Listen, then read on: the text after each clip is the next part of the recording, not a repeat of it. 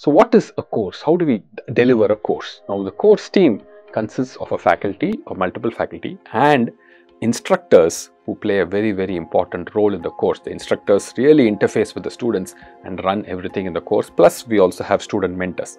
There are 12 weeks that a course runs for week 1, week 2 till week 12. At the end of week 4 there is an in-person quiz 1 that you have to go write in a center. At the end of week 8 there is an in-person quiz 2 that you have to go write in a center. At the end of week 12 there is an in-person final exam that you have to go and write in a center. The programming exams if required are held. These programming exams at this point are remote proctored uh, and you can do that from wherever you are. Okay, so that's the only aspect that is remote proctored in this uh, course. The weekly content is about 15 hours a week of, of engagement, 15 hours of engagement that is needed from you.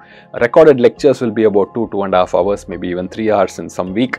There'll be lots of activity questions that the instructors create and give for you, tutorial lectures that the instructors do for you, practice assignments, graded assignments the instructors create and the faculty verify, text transcripts, notes, live synchronous sessions are held by instructors for clearing doubts. There is a discussion forum where you can post questions and immediately answers are given by instructors and mentors.